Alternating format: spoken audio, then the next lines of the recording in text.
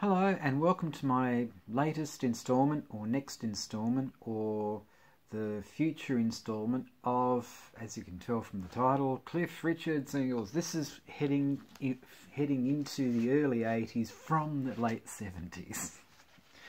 I was I bad that the wrong way, but it sounded alright.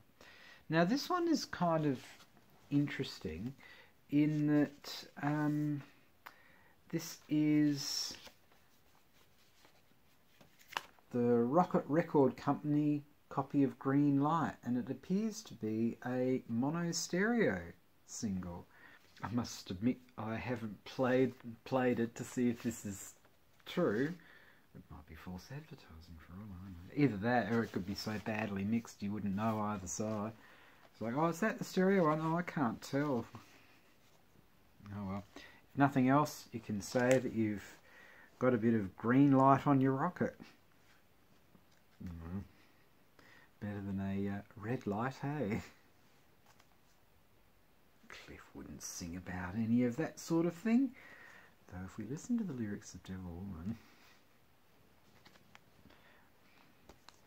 then he, he wasn't all that thrilled with Honky Tonk Angel, was he? And next up is the UK pressing of Carrie. Carrie doesn't live here. Though I suppose some people would see that and think, is that an unofficial theme song to that movie? I can't imagine Cliff singing a song like that either. Either that, or it could be about Carrie Fisher. Mm, no. It's just about some chick who lives on the second floor in a room or something like that anyway. But I bet people called Carrie were popular after all of that though. Especially those who lived on second floor. Hi, is there a Carrie that lives on the second floor? Go away! Ooh, that's just a little bit too close to a certain Carrie. Okay, well I'm carrying on a bit much now. I think next. But while we're on the topic of Carrie, here is the Dutch copy of Carrie. They really utilised that whole rock and roll juvenile look, didn't they? And next up is the UK copy of We Don't Talk Anymore, as you can clearly see. Now, there, there seemed to be a thing, there, there seemed to be a bit of a trend of photographing Cliff from below. So here is Carrie, he's blue, and with Not Talking Anymore, he's rocking the satin and he's all red. Oh, and he's doing the big fist pump too. Ooh, how raunchy. The worst part about that is that it looks like he's got eye makeup on. He looks like a kind of mixture of Katrina from Katrina and the Waves, Suzi Quatro and Mick Jagger. And, oh, this photo will look familiar except it's a different song. Yeah, Hot Shot. So we've got a, we've got a choice. They they've decided. Oh no, we, we can either go with a, with Carrie or Hot Shot. Here we are. Just slightly different colours. Uh, this is the UK pressing. I love how they make a point of that guitar being plugged in, but I wonder if the amps were turned on. And next up is the British copy of Dreamin'. Looks like a little bit too much Vaseline was smeared on the lens there, doesn't it? It's, like, oh, let, let's break out the gauze. Though I suppose it could be worse. There we go. Can barely see him at all now. Yeah, alright, back to normal. There we go. Either that or it's such a reflection of that shirt that it's created that effect. The background makes it look like he's ready to do a stand-up routine or something. And next up is, funnily enough, the UK. Got most of these from the UK. UK copy of A Little in Love. Nice top. Are they eagles? Oh no. Is that the ringwear? Yeah, the ringwear isn't exactly in the best position, is it? Yes, so there he is, sitting all cross-legged there. Uh, would be more amusing if he was in the lotus position. Yeah. Oh dear. Um.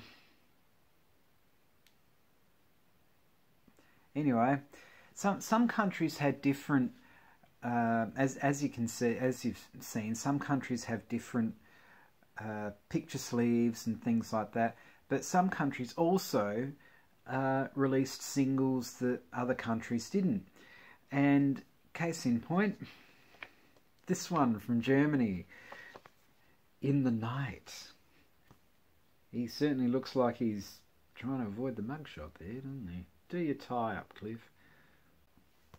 But the thing I found was the other side of this, the picture sleeve they've given that that is appalling.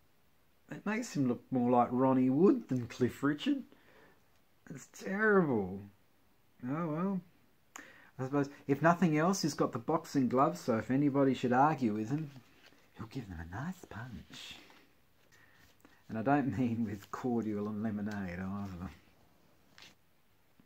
And the next one up is from the USA, and we've got Cliff looking all blue and moody there. Well, he wants us to give a bit more. I think in this case it should have been a bit more lighting. Maybe that's where that look on his face is coming from. Uh, can I have a little bit more light, please? Oh, well, I can fix that. There we go. Just what the doctor ordered. Yeah, all right. A bit, a bit garish. All right. Well, we'll put that back then. There we are. Back to far too dark. And next up, we've got the German pressing to Wired for Sound. Look familiar? As we can see, it's in keeping with the tradition of photographing Cliff from the bottom of the stage looking up. I guess that's maybe to make him look like we can we can see he's concentrating on his chords there, can't we? Maybe he's worried as to whether he is wired for sound or not. Yeah. And what they've used for the album cover here on the back of this thing was terrible. They've really done some dreadful reproductions here, haven't they? It looks like he's. Um... well, it says wired for sound. He does look like he's being electrocuted. I think that's about as far as I'll go with that. I like small people. I wonder what him liking small people and all that was all about. I guess as long as they were wired for sound, you didn't care what, what they were built like. I suppose as, as, as long as they could mount his speakers, that was the main thing.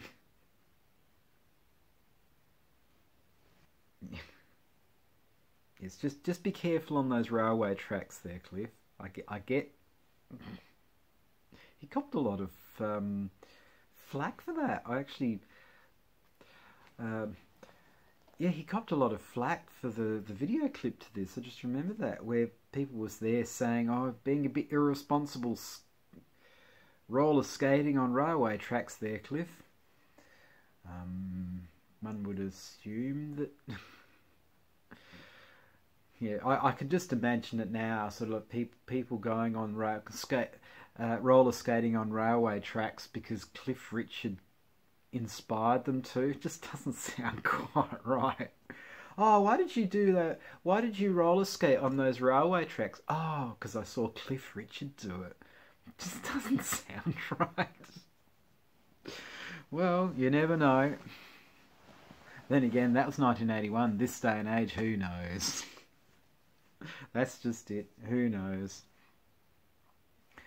Alright. Well, I suppose on, on that note, I shall skate off into the ether. And if you like this, please do all the likes and subscribes and the bells and the whistles and all that kind of stuff. Because I'm wired for sound. Anyway, uh, please take care of yourself and when my ears recover, I hopefully shall see you in the next one.